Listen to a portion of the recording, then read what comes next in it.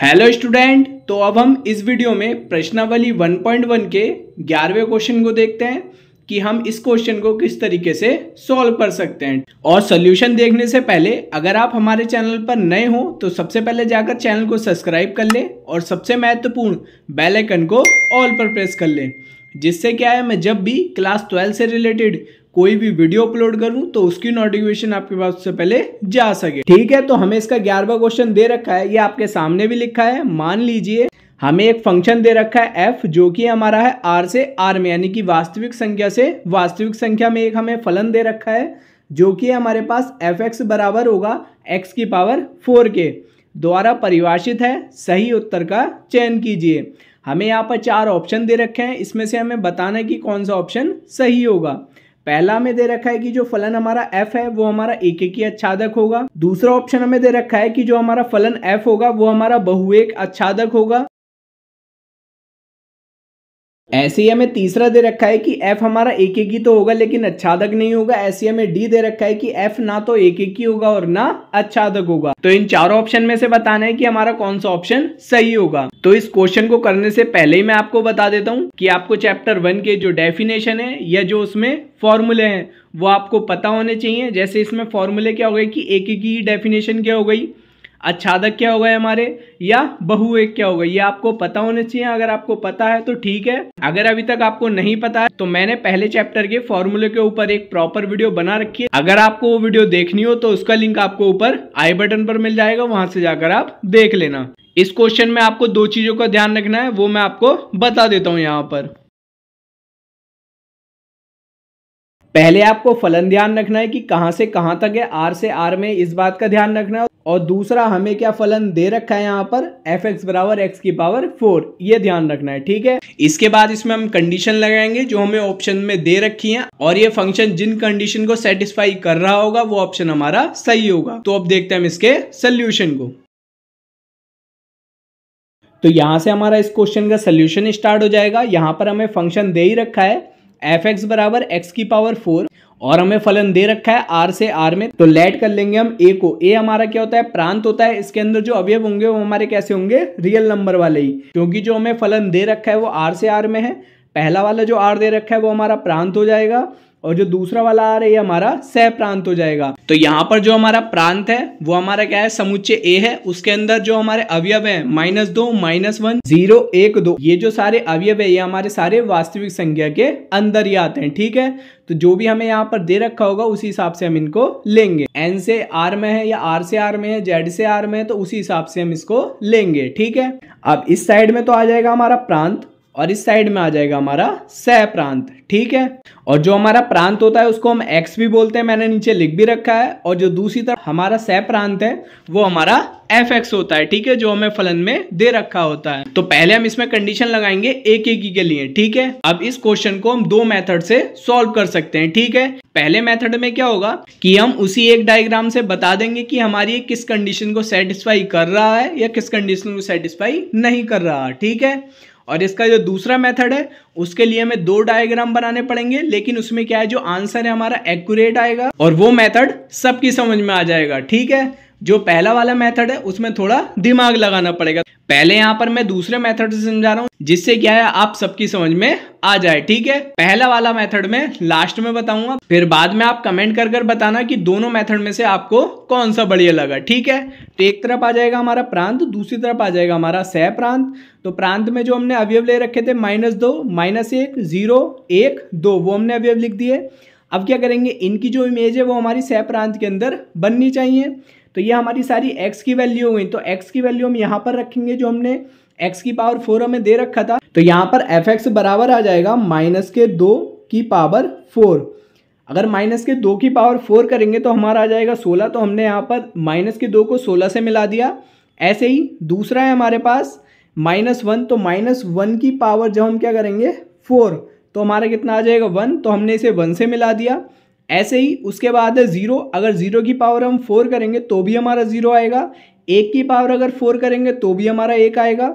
और दो की पावर अगर हम फोर करेंगे, वो हमारी प्लस की थी, वो हमारी माइनस की तो भी हमारा सोलह ही आएगा। ठीक है? तो आपको यहाँ पर दिख रहा होगा कि माइनस दो और दो की जो इमेज है वो एक ही बन रही है सोलह पर। ऐसे ही जो हमारा माइनस वन है और प्लस का वन है, उन दोनों की इमेज भी हमारी एक ही बन रही है, वो है हमारी वन। तो अब आप इस डायग्राम को देखकर ही बता सकते हैं कि हमारी किस कंडीशन को सेटिस्फाई कर रहा है और किस कंडीशन को सेटिस्फाई नहीं कर रहा। अब जैसे कि पहले हम यहाँ पर एक ही के लिए देख रहे हैं तो हमें यह भी ध्यान रखना होगा कि जो हमारा फलन है, वो आर से आर में होना चाहिए, यानी कि ए के अंदर भी हमारी वास्तविक संख्या होनी चाहिए और बी के अंदर भी हमारी वास्तविक संख्या होनी चाहिए। तो अभी तो हमारी दोनों साइड में वास्तविक संख्या आ रही है, लेकिन अगर आपको परिभाषा याद होंगी तो आप देखते ही बता देंगे कि हमारा बहु एक फलन होगा, ठीक है? क्योंकि एक एक ही फलन में जो हमारा प्रांत होता है, उसकी जो इमेज बनती है हमारी सह प्रांत में, वो एक ही होनी चाहिए, ठीक है? दो नहीं होनी चाहिए। यहाँ पर हमारी प्रांत के जो दो अवयव हैं, उनकी एक ही इमेज बन रही है, ठीक है? ऐसा नहीं होना चाहिए, ऐसा हमारा बहु एक में ही होता है, ठीक है? तो ये हमने यहाँ पर लिख भी रखा है, और आपको यहाँ पर दिख भी रहा होगा। मैं एक बार आपको दिखा देता हूँ। यहाँ पर लिखा भी है कि प्रांत जो है हमारा ए वो बिलोंग्स करता है हमारा आर के अंदर, यानी कि वास्तविक संख्याओं के अंदर आ रहा है कि अवयवों के सह प्रांत बी में, यानी कि जो ए के अंदर हमारे अवयव हैं, उनके जो सह प्रांत हमारा बी है, ये वाला, इसके अंदर क्या है? उबनिष्ठ प्रतिबिंब है, यानी कि इनकी कॉमन इमेज बन रही है, ठीक है? जैसे यहाँ पर माइनस दो और दो की हमारी एक इमेज बन रही है, सोलह तो ये क्या है? उबनिष्ठ प्रतिबिंब बन रहा है, अतः दिया गया फलन हमारा क्या होगा? बहुएक होगा ना कि एक एक ही ठीक है? तो पहला तो हमारा ये आ गया यहाँ पर ये एक एक ही नहीं है, हमारा क्या है? बहु एक है, ठीक है? अब देखते हैं कि ये फलन हमारा अच्छादक होगा या नहीं होगा, ठीक है? वो देखते हैं हम आगे। और ये अभी हमारा सेकंड मेथड ही चल रहा है, ठीक है? फ़र्स्ट मेथड तो हम एकदम कर लेंगे, ठीक है? लेकिन उसके लिए थोड़ा दिमाग चाहिए। तो अब देखते हैं फिर हम अच्छादक वाली कंडीशन को। अगर आपने इसकी डेफिनेशन पढ़ रखी होंगी तो आपको पता होगा जो हमारी एक एक वाली कंडीशन होती है, जो हमारा प्रतिबिंब बनता है, वो हम देखते हैं प्रांत से सह प्रांत में। लेकिन जो हमारी अब अच्छादक की कंडीशन है, उसमें जो प्रतिबिंब बनता है, वो हम देखते हैं सह प्रांत से प्रांत में, यानी कि उल्टा देखते हैं, ठीक है? अभी आपको ध्यान होगा, हमने ए से बी में देखा था, अब देखेंगे हम बी से ए में, ठीक है? जैसे हमने जो ए हमारा समुच्चय था, जो हमारा प्रांत था, उसके अंदर हमने अवयव लिए थे वास्तविक संख्याओं के तो उसके लिए हमें फ़ंक्शन दे रखा था। ऐसे ही हम यहाँ पर लेट करेंगे बी को, लेकिन इसके लिए हमें फ़ंक्शन बनाना पड़ेगा, ठीक है? अब वो फ़ंक्शन कैसे बनाएँगे, वो मैं आपको बता देता हूँ यहाँ पर। तो सबसे पहले हम क्या करेंगे यहाँ पर? माना एफ़ एक्स बराबर लिख लेंगे वाई जो आपके सामने अब आ भी गया होगा। उसके बाद में हमें एफ़ एक्स बराबर एक्स की पावर फोर दे रखा है। अब एफ़ एक्स की वैल्यू हमारे पास है पहले से ही तो यहाँ पर हमारा आ जाएगा वाई बराबर एक्स की पावर फोर यहाँ से हम एक्स की वैल्यू निकाल लेंगे तो एक्स बराबर आ जाएगा वाई की पावर एक बटे चार, ठीक है? तो अब ये हमारा फ़ंक्शन का काम करेगा बी के लिए, ठीक है, जो हमारा सह प्रांत है। अब जैसे हमने प्रांत को लेट करा था, वैसे ही हम क्या करेंगे? सह प्रांत को भी लेट कर लेंगे, क्योंकि हमें दे रखा था स्टार्टिंग में। जो हमारा फ़ंक्शन है, वो आर से आर में है तो वो हमारी एक एक कंडीशन को तो सेटिस्फाई कर रहा था। लेकिन अब हम क्या देखेंगे? सह प्रांत से प्रांत में तो भी हमारा जो फ़ंक्शन बनेगा, वो आर से आर में ही होगा, ठीक है? तो बी के अंदर भी हम लेट कर लेंगे। माइनस दो जो हमने पहले लेट करा था माइनस दो।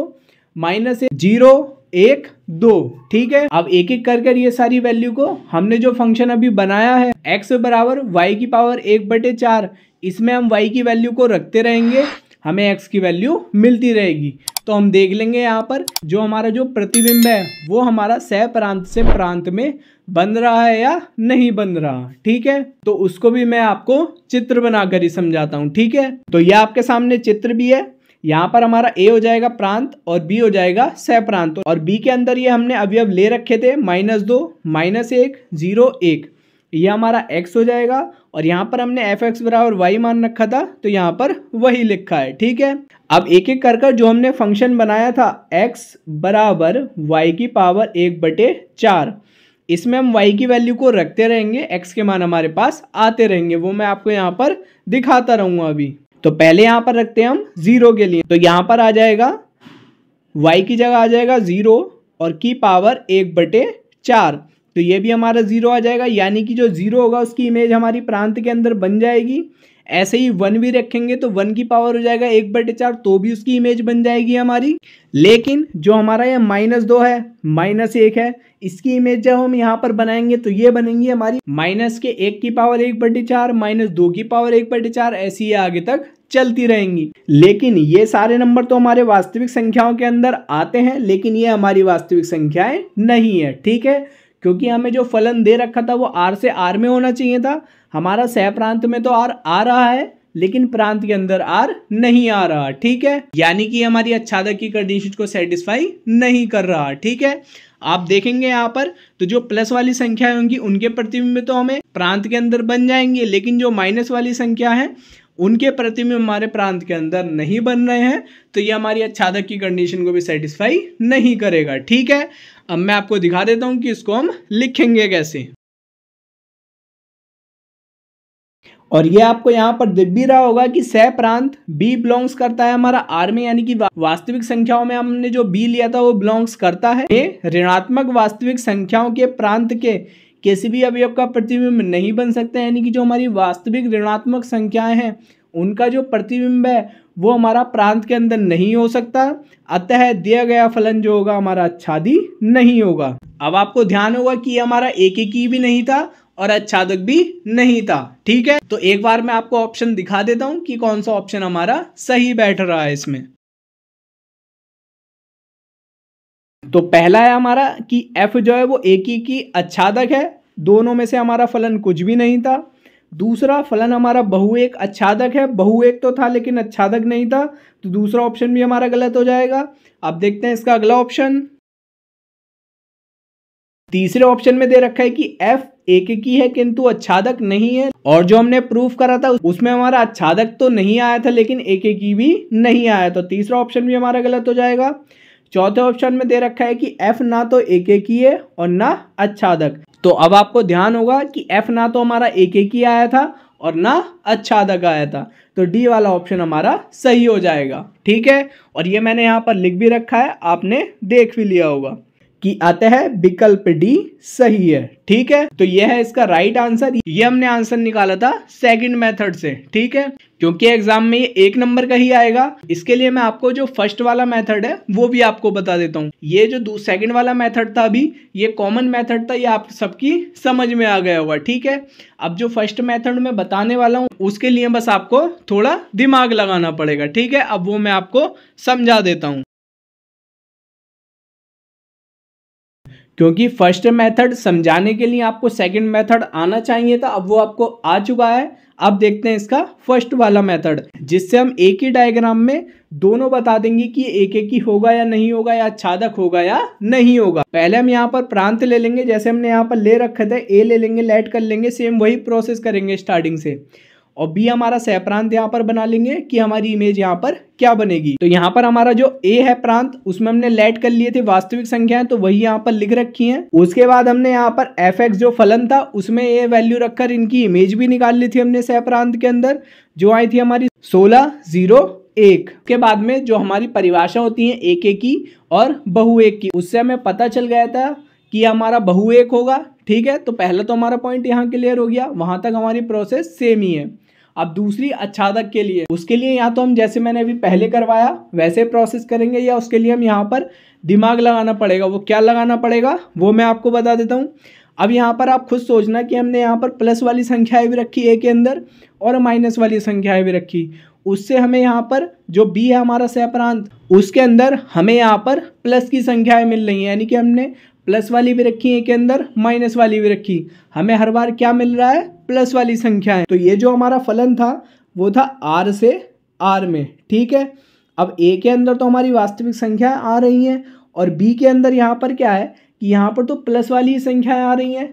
चाहे हम माइनस की भी संख्याएँ रख लें, फिर भी हमारी प्लस की संख्याएँ आ रही हैं। तो बी में भी हमारा आर ही आना चाहिए। तो हम, जो हमारा सह प्रांत, उसमें हमारी कोई माइनस की भी संख्या आएँगी, जैसे माइनस का दो माइनस का तीन, ऐसे ही और भी माइनस की संख्या आएँगी हमारी वास्तविक संख्या के अंदर तो उनका जो प्रतिबिंब है, वो हमारा प्रांत के अंदर नहीं होगा, ठीक है? जो प्रोसेस हमने इतनी लिख करके करी थी, उसको हम ऐसे भी कर सकते हैं। बस हम लास्ट में लिख देंगे कि ये हमारा सह प्रांत क्यों नहीं होगा। वो एग्ज़ाम्पल में हम ऐसे करके लिख सकते हैं, माइनस के तीन और माइनस के दो का जो प्रतिबिंब है, वो हमारा प्रांत के अंदर नहीं बन रहा है।